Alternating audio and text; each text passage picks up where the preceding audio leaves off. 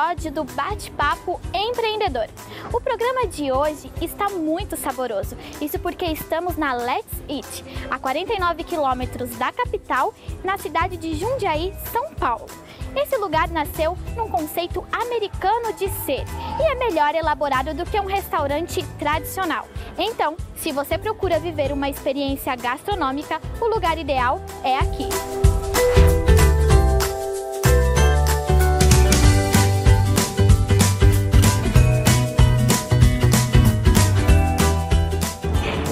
Empresário Marcos Nunes. Prazer, Marcos. Prazer é meu. Então vamos começar. Marcos, conta pra gente como é que surgiu essa ideia de empreender. Vamos lá. Essa ideia veio de empreender veio desde criança, né? Onde, quando eu tinha meus 11, 12 anos, eu tentei trabalhar numa pastelaria na feira, para fritar pastel, que eu achei uma, uma ideia bacana, tudo. Eu sempre quis trabalhar, quis entender como é que era o mundo de negócios, né? Depois disso aí, foi a época que eu trabalhei com meus pais, né? Eu achava super bacana ver as decisões que se tomam numa, numa empresa, as várias decisões, decisões de venda, finanças, esse tipo de controles. Eu sempre tive essa curiosidade e foi até que meio um caminho natural para abrir minha própria empresa. Então você sempre teve vontade de ter um negócio próprio?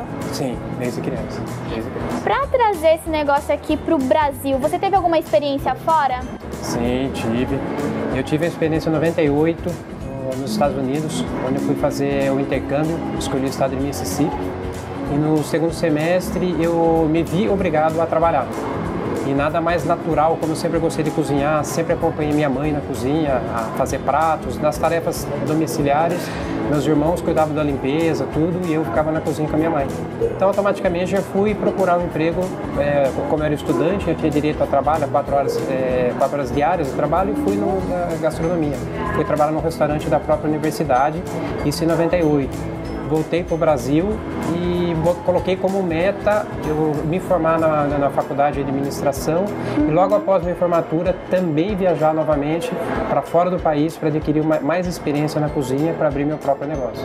Certamente nesse longo caminho você teve algumas dificuldades. Você consegue citar para gente algumas das dificuldades que você enfrentou? A primeira dificuldade, como acho que todo negócio no Brasil, é justamente a falta de, de capital, né, de financiamento. Uhum. Se existe o capital, ele é muito caro e se não existe, a gente não, não tem de onde levantar. Então, acho que hoje, é, até hoje, isso é uma parte bem complicada para o empresário, que é justamente esse como abrir, né?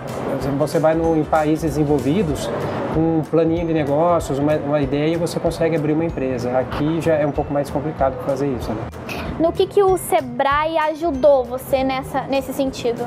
Ah, isso é legal. É muita informação, né? Eu acho que as grandes empresas conseguem pagar pelas informações de, de mercado e as pequenas não, né? E toda empresa começa pequena, né? Então eu na, na minha fase de pesquisa, plano de negócios, sempre procurava uma agência do Sebrae para conseguir coletar esse tipo de informação. Desde público-alvo, quem são meus concorrentes, as melhores praças, eu consegui tudo isso aí junto com o Sebrae. Então o Sebrae te ajudou e ainda te ajuda? Sim. Até hoje, né? Hoje eu até costumo falar para meus franqueados sempre procurar, tá na dúvida de alguma coisa, tipo, procura o Sebrae, vai dar uma olhada, amigos que me procuram, é tipo, pedindo dicas de negócio. Uhum. Eu falar, se fosse dica fosse boa, eu vendia, não, não dava, né? Eu conheço do meu setor um pouco, né, ainda. Daí eu sempre falo, procura uma agência Sebrae, né? Vai no Sebrae e eles podem te ajudar bastante. Né? Como que você faz a parte de marketing da empresa? Então, atualmente, é, a gente trabalha bastante com, com, as mídias sociais, né? E eu, eu, como eu tenho já 40 e poucos anos, eu nunca fui muito de mídia social, mas acabei me, me rendendo a ela porque hoje a gente consegue, dentro de uma mídia social, é, classificar, o, estratificar o nosso cliente, né? A gente consegue fazer uma campanha, a mesma campanha para vários públicos uhum. e com isso a gente consegue é, ver qual é o público que mais está reagindo à nossa campanha. Como que você vê o seu negócio daqui 10 anos?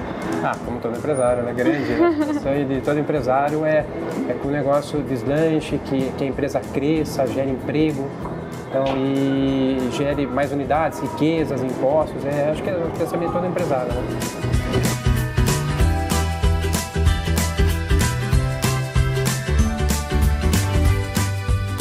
Bom, essa é a gerente Dayana participou de alguns cursos do Sebrae, né, Dayana? Quais foram eles? Sim, já fiz sim, já fiz cursos de gestão, né, de, de restaurante, já fiz também o Empretec, já fiz vários workshops e também algumas palestras bem interessantes lá no Sebrae. E esses cursos, de que forma você coloca o que você aprendeu lá em prática aqui no restaurante? Aqui no Let's Eat eu coloco ele em prática na minha organização com os garçons, que foi um dos, dos workshops que eu assisti. Eu coloco em prática na parte financeira, quando eu fiz o de gestão, e consigo colocar aqui no Let's Eat até na parte de, de cozinha, de administração, na, no geral, porque como eu consegui fazer vários cursos, eu consegui agregar muitas áreas aqui para o restaurante mesmo, então foi bem interessante.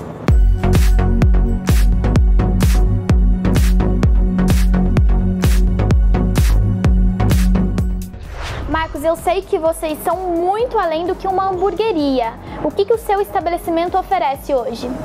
Legal. Hoje, é, no início, eu comecei com uma hamburgueria pura. Eu tinha só hambúrgueres no cardápio, mas conforme os anos foram passando, eu fui sempre dando adendo no cardápio. Fui aumentando o cardápio hoje a gente trabalha não só com, a, com hambúrgueres, a gente trabalha com comida mexicana, a ribs, que é a costela suína ao molho barbecue, que inclusive o barbecue é uma receita própria também. Ele segue o padrão do sul dos Estados Unidos. O norte trabalha com barbecue mais adocicado e a receita, como eu morei no sul, eu conheço um barbecue levemente pimentado. Então ele tem aquele gostinho de agridoce. Ele começa doce e no final termina aquela, aquela essência gostosa da pimenta.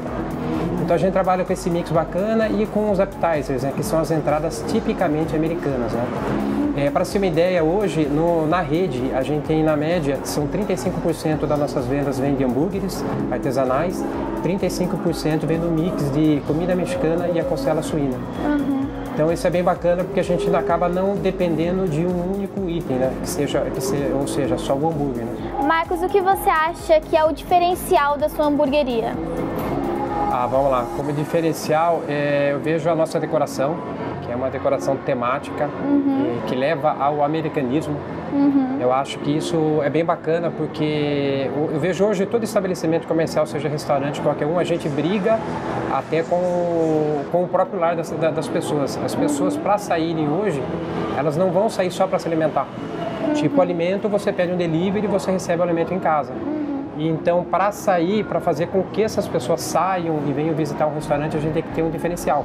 Uhum. Que seja o atendimento, a qualidade do produto, seja a decoração. Então, a gente fala em experiência, não fala simplesmente no ato de se alimentar. Entendi. E da onde surgiu essa ideia da decoração?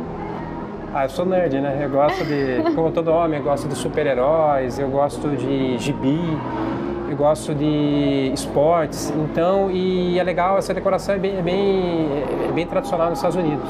Então a gente trouxe essa pegada para cá, sabe? Colocar aquela, aquele título do filme bacana que as pessoas gostam da atualidade, os super-heróis, um, esporte bacana que nem o basquete, o, o hockey no gelo, então essas coisas a gente traz que é justamente norte-americano e traz para cá para decorar as lojas.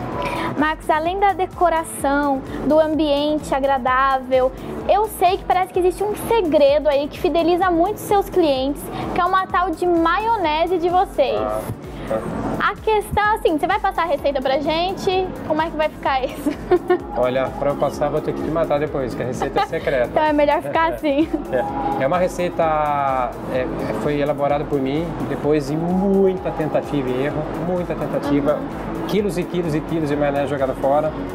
É, desandou, é, até chegar, legal que quando a gente bate, vai testando, ou ela ficava muito salgada, e com pouco alho, muito alho, pouco salgada, e por aí vai, até a gente chegar. A isso aí foram mais seis meses nessa receita. Mais seis meses. E ela fideliza os seus clientes. Sim, sim. Ela é. Eu, eu, eu sou suspeito de dizer, né? Mas eu considero uma das melhores maioneses. Tipo, a gente concorreu há pouco tempo também a melhor maionese de São Paulo. Ficamos em sexto lugar há cinco anos atrás.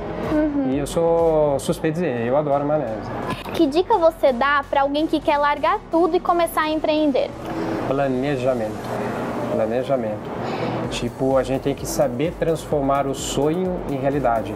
E a gente só consegue fazer isso através de um planejamento. A gente tem que saber onde quer chegar, mas através do planejamento você consegue ter as etapas para alcançar esse sonho. Então, isso é fundamental, fundamental em qualquer empreendimento, até na vida própria, né, pessoal. Se você não sabe onde quer chegar, então qualquer lugar serve, né? Então tem que saber onde quer chegar, planejar para isso. Marcos, muito obrigada por ter compartilhado a sua experiência com a gente. Nós ficamos por aqui e até mais um bate-papo empreendedor. Tchau, tchau.